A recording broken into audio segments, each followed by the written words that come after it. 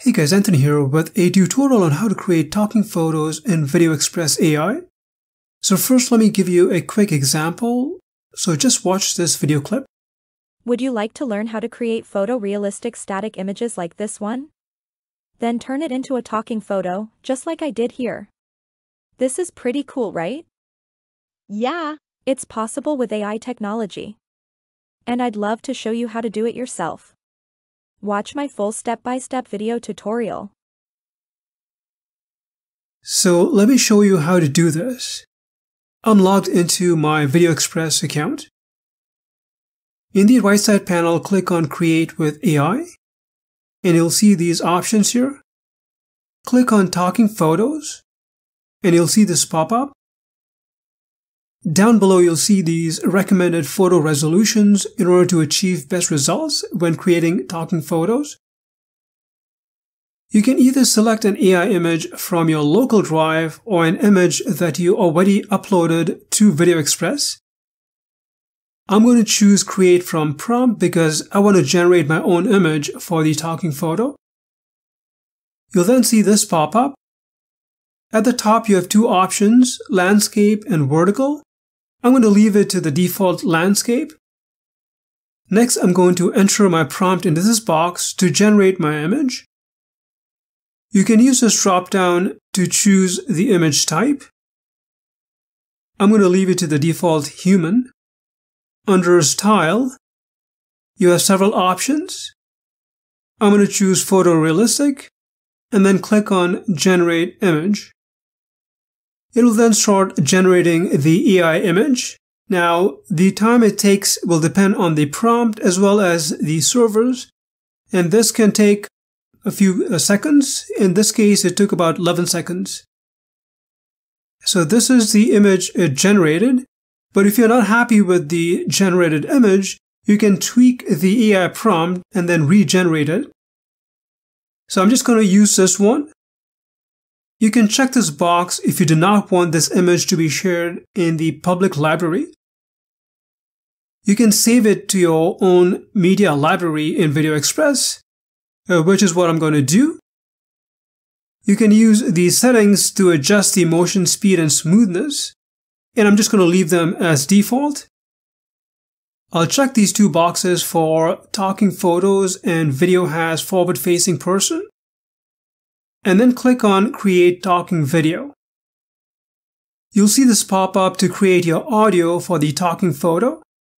It has three tabs at the top. You can import your own audio like an MP3 file. You can record your own voiceover right here. Or you can use text to speech, which is what I'm going to do. Under language, you'll find a lot of options as you can see.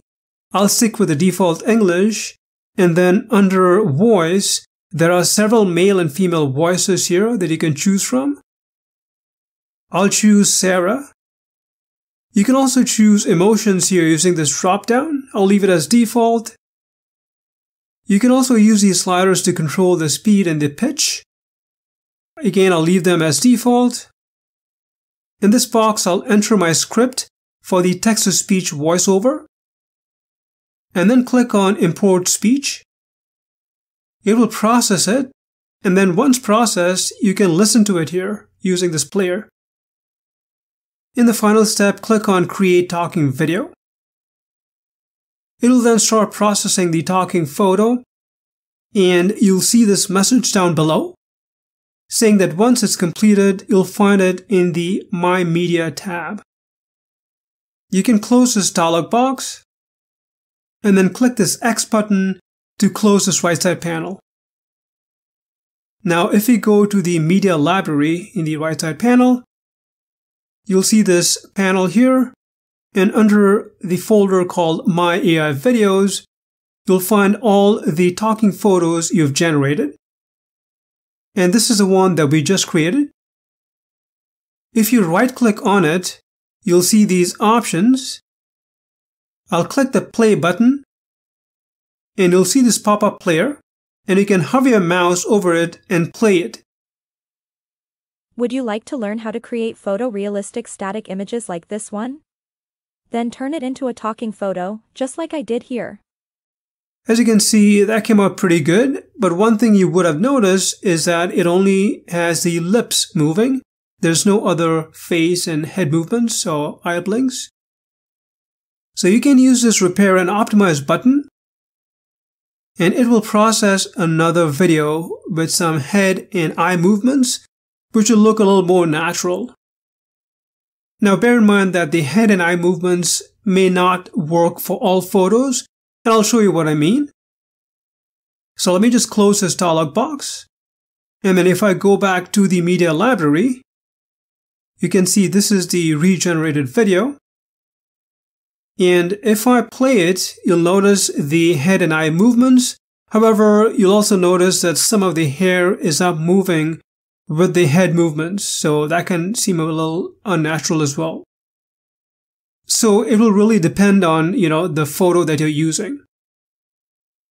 But overall, it did a pretty good job of it taking a static image and turning it into a talking photo. Let me close this dialog box. VideoExpress is also a video creation tool and a video editor, and I'll cover more of the other features in separate videos.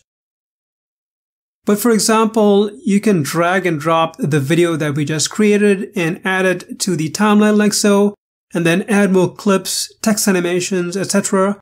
to create a full video with VideoExpress. If you'd like to try VideoExpress and get a discounted price, check the link in the description section. Well, hope you found this tutorial helpful. If you have any questions, please leave them in the comment section. Thanks for watching.